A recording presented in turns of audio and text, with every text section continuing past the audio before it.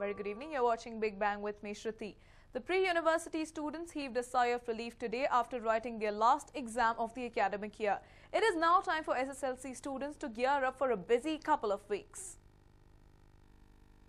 Hall tickets have been distributed, examination centers have been allotted, and invigilators have been assigned. 10th standard students are busy preparing for what some might call the most important challenge in any student's life. SSLC examinations of 2014 are all set to begin tomorrow. 3,016 examination centers across the state will soon be bustling with students walking the halls. The first paper is scheduled at 9:30 a.m. tomorrow. Officials were seen marking the benches with roll numbers for students to identify their seats. There are more than 8,26,000 students writing the SSLC exams this year, the majority of which are boys. 4,11,011 boys and 3 lakh 73,989 girls are preparing for a busy couple of weeks ahead. There are also 2,514 specially able students attending the exams this year. From the 2,514 differently able students attending their 10th boards this year, 473 students are visually impaired, 533 are hearing and speech impaired, and 848 are physically challenged.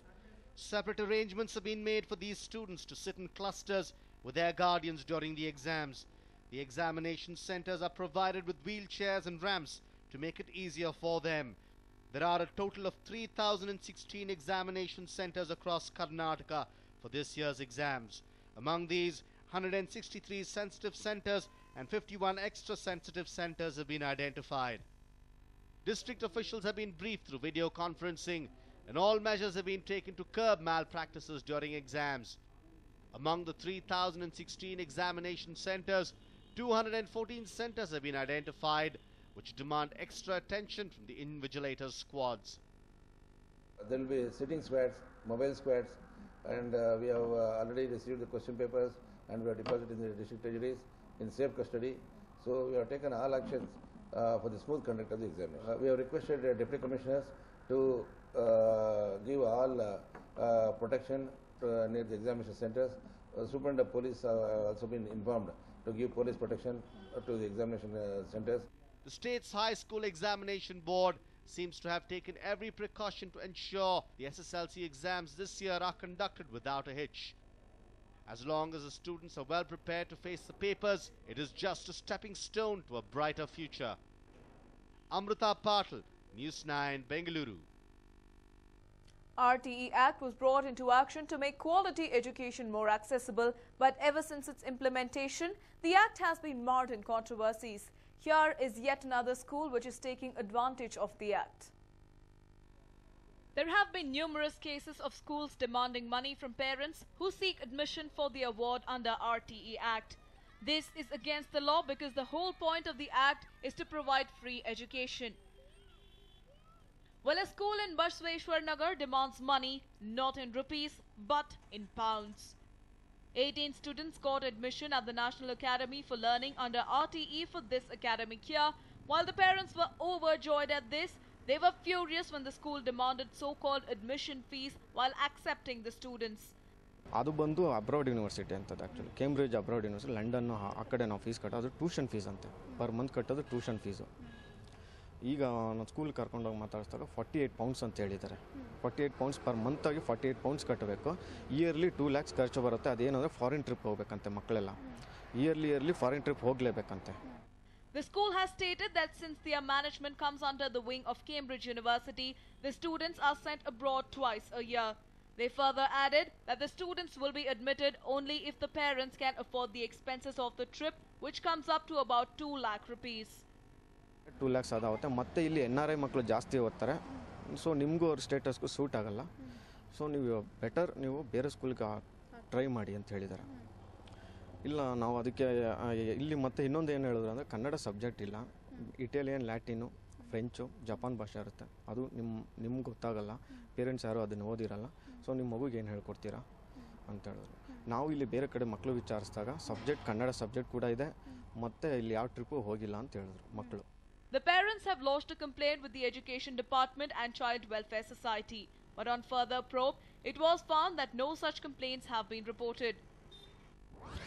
Management of National Academy of Learning has not demanded fees from parents of students admitted under RTE Act. They've stated that the parents have instead been briefed on the rules pertaining to the school. If there are any complaints against the school regarding implementation of RTE, we will issue a notice to the school authorities. Well, this is definitely not the first complaint against exploitation of the Act. But the fact that such cases continue to crop up raises questions on the proper implementation of this Act. Amrita Patil, News 9, Bengaluru. Want admissions in a good college with great infrastructure? Don't go by ads in papers or in a college prospectus. Here are reasons as to why. This is Royal Group of Institutions, a college that boasts about its world-class facilities in its prospectus. Well, don't go by the prospectus, folks. Take a look at the institution for yourselves. These students on your screen went by the advertisements posted in Andhra newspapers and got admission to this college. They were asked to pay a heavy fee as well. Though the college says that it specializes in aeronautical engineering, students studying here claim that the college offers diploma and not engineering. According to the students, the academic year started in January and ended in March. Students who returned to college after their vacation had a surprise waiting for them. What was once an aeronautical engineering college is now a school. Yes, the students who returned to college were shocked to see this transformation. The college has turned into a school in a span of two months. These students called the college head Venugopal for clarification and asked for their fees to be reimbursed. All they got as their reply was nothing doing from him. A student's parent turned up all the way from Hyderabad to inquire, and she too ended up disappointed by Venugopal's response. We spoke to Venugopal regarding transformation of a college into a school. His explanation made little sense. The students who have lost their money and time now just want their money back. They want to go back to their hometown and pursue their studies in a different college. The question is, who will come to their rescue? Shobha Jojiga, News 9, Bengaluru. And well, a shocking robbery has happened in Begur. A real estate developer's office has been robbed in Begur. This is the big news that we are tracking at this point in time. Real estate developer's office was robbed at gunpoint. The office belongs to SMT builders and developers. Four robbers looted the office at gunpoint and the Electronic City cops have visited the spot to investigate further and nab the culprits. The Electronic City cops who visited the spot, a shocking robbery has come to light from Begur. Four robbers rob SMT builders at gunpoint. Real estate developers office was robbed at gunpoint. The office belonged to SMT builders and developers. It is said that four robbers looted the SMT developers at gunpoint. Well, for more on this, I'm joined in by my colleague Anil. Anil, what more can you tell us about this? Oh, well, Shruti, the incident took place at around 9 p.m. That's hardly an hour back. Now, it is, uh, it is being reported that around uh, 9 p.m., four people on two bikes, they entered, they barged into the office, the SMT builders and developers. They, uh, they brandished uh, uh, machetes and they also carried uh, guns with them. And there were around seven people in the office at that time. So they threatened each one of them and uh, they made away with almost 60,000 in cash, but they also took away uh, the mobile phones, the the gold ornaments they were wearing, rings, everything uh, that the office staff had. So the incident took place at around uh, 9 uh, p.m. Shruti. Well, a shocking robbery indeed that has come to light, Anil. Uh, indeed, uh, Shruti, uh, there has never been such an incident actually at around 9 in the night. This happens to be a very busy area in Bengaluru. So now, uh, this indeed is uh, shocking because uh, four people barged into a real estate office and they looted the entire office on gunpoint. And before they left, they also made it a point to fire uh, blank shots in the air, uh, threatening the uh, people present in the office not to file a complaint. And they also had machetes with them. If uh, the office people did uh, resist it, uh, probably something untoward could have happened. Now, they also carried uh, guns with them. And uh, the scariest part is just before they left, as a warning signal, they fired blank shots in the air. So this this goes about to show that the people who attempted the the people who uh, did make away with the cash were not some local goons or local rowdies. Probably they are uh, you know. Uh, they, they are the ones who have been in this field for quite some time and they know how to carry about their business. So that that is very in, uh, shocking indeed, Shruti. Well, uh, Anil, do we have any information of how much money was looted?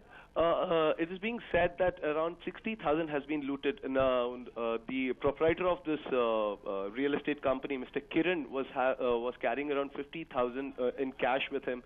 Another employee by name Shiva Reddy had 10,000 in cash with him. So the 60,000 was looted, and they also made sure to take away all the branded equipments uh, was present in the office, like the Rado watch the proprietor was wearing, and uh, the two mobile phones his assistant was carrying. Uh, apart from 60,000, all this has uh, gone missing, Shruti. Well, thank you so much, Anil, for joining in with all those details. Well, indeed, a shocking robbery coming to light from Begur at 9 p.m. Around 9 p.m., four robbers entered, entered SMT developer's office and looted around 60,000 rupees at gunpoint. The Electronic City cops have visited the place and are investigating the matter and are trying to uh, nab the culprits as soon as possible.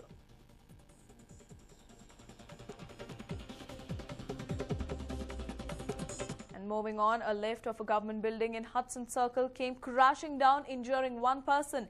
The incident occurred at the Bescom office and the victim has been identified as Yashoda, an assistant engineer with Bescom. She has been admitted to Hosmat Hospital where she will undergo surgery tomorrow. Well, here's what Yashoda had to say after she suffered a fracture on her right leg. ಅದೇ one thirty five lunch time ಅಲ್ವಾ car ಕೆಳಗಡೆ park ಮಾಡಿದ್ದೆ. ಲಿಫ್ಟಲ್ಲಿ ಹೋಗೋಣ ಅಂತ ಹೇಳ್ಬಿಟ್ಟು ಲಿಫ್ಟ್ಗೆ ಹೋದೆ. ಅದು ತರ್ಡ್ ಫ್ಲೋರ್ಗೆ ಹೋಗಿ ಫೋರ್ತ್ ಫ್ಲೋರ್ಗೆ ಹೋಗಿ ಅಲ್ಲಿ ಜನ ಜಾಸ್ತಿ ಆಗೋಯ್ತು. ಮತ್ತು ಅದು ಸೆಕೆಂಡ್ ಫ್ಲೋರ್ವರೆಗೂ ನಾರ್ಮಲ್ ಬಂದು ಸಡನ್ನಾಗಿ ಕೆಳಗಡೆ ಬಿದ್ದುಬಿಟ್ಟು ಅದೆಲ್ಲ ಸ್ಪ್ರಿಂಗ್ ಇರೋ ಹತ್ರ ಎಲ್ಲ ಹೋಲ್ಸ್ ಆಗ್ಬಿಟ್ಟು ಕಾಲು ಒಳಗಡೆ ಹೋಗ್ಬಿಡ್ತು ನಂದು ಟರ್ನ್ ಆಗ್ಬಿಟ್ಟು. ಅಲ್ಲಿಂದನೇ ನಂಗೆ ನಡೆಯೋಕ್ಕೆ ಆಗಲಿಲ್ಲ ಅಲ್ಲಿ.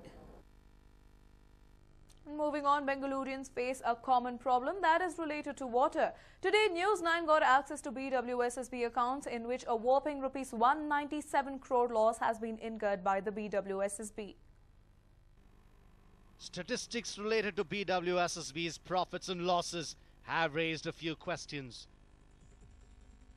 There were 2,50,000 consumers in 2004 and BWSSB made a profit of 74 crores the same year.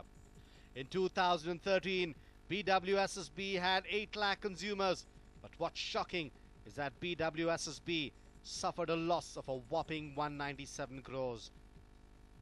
The question doing the rounds is the water board's losses despite the number of consumers increasing in the last few years. One of the reasons as to why it has incurred losses is its failure to detect leaks.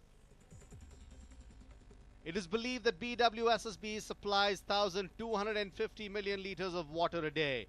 40% of the 1,250 litres supplied is wasted due to leakages in the pipelines. To find out the pipes with leaks and to initiate repair and reconstruction is a difficult task and needs dedicated budget allotment. According to the Water Board Employees Association, the loss suffered by BWSSB is due to the water mafia and a lack of engineers.